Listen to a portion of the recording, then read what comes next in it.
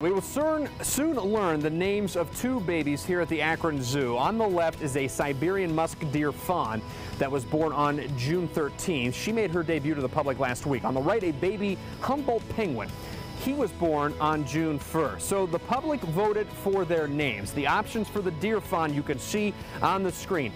I'm going to give it a shot. Please don't get me hate mail. I don't know how to pronounce all these, but I, uh, trying to speak phonetically here, looks like Alina, Katya, Lika, Nadia, and Svetlana.